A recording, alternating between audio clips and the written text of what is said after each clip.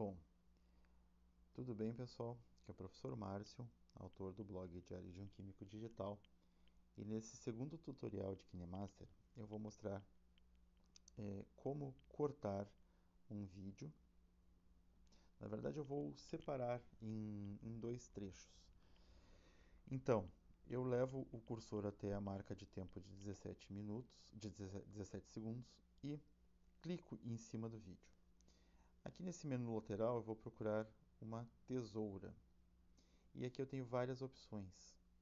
Eu tenho aparar à esquerda, aparar à direita, ou separar é, no ponto em que está é, marcado.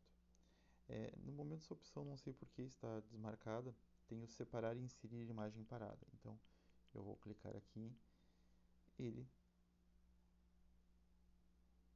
fez uma separação meio estranha para o meu gosto. Ah, ele fez um, um corte daquela parte lá. Então, deixa eu ir de novo no 17 segundos. Vou procurar aqui. Ah, separar no indicador de reprodução. Agora está ativo. Ok.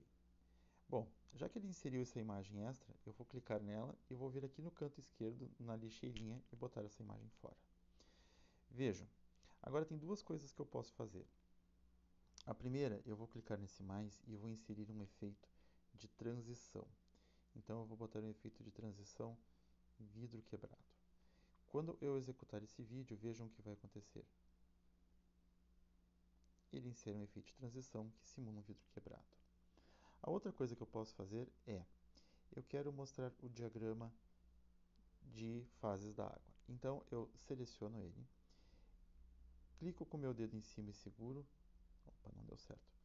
Vou clicar e segurar e vou arrastar até o meio do meu vídeo. E agora, o que vai acontecer? Quando eu executar o vídeo, quando executar o vídeo, o efeito de transição se aplica a esta imagem.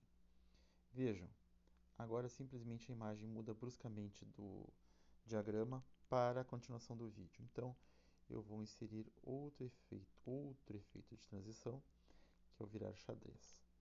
E ele vai... Vamos lá. Vai acontecer. Notem que quando nós inserimos o efeito de transição, o tempo de duração da, da imagem ou do vídeo que está sendo exibido diminui. Então, nós podemos clicar sobre a transição e ou aumentar a velocidade de reprodução da transição ou diminuir, fazer com que ela seja bem lenta. Eu vou fazer isso aqui com velocidade 3. Vejam que ela vai demorar bastante agora.